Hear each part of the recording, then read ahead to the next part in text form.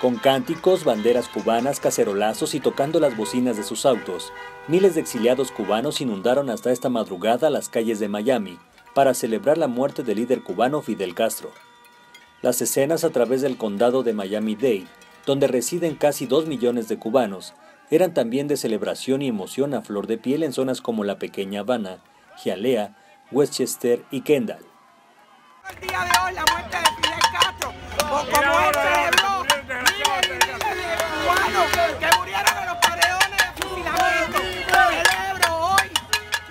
Estamos en victoria también por el presidente electo Donald Trump, porque ha dicho que va a quitar los acuerdos que hizo el gobierno de Obama con Cuba y al mismo tiempo reforzar las regulaciones para disminuir el comercio, y el pueblo de Cuba va a tener una rebelión, dijo el activista anticastrista Miguel Saavedra, de Vigilia Mambicia.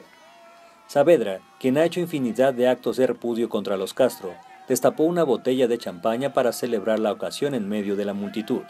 Con información e imágenes de Pablo Tonini, corresponsal en Miami, Notimex.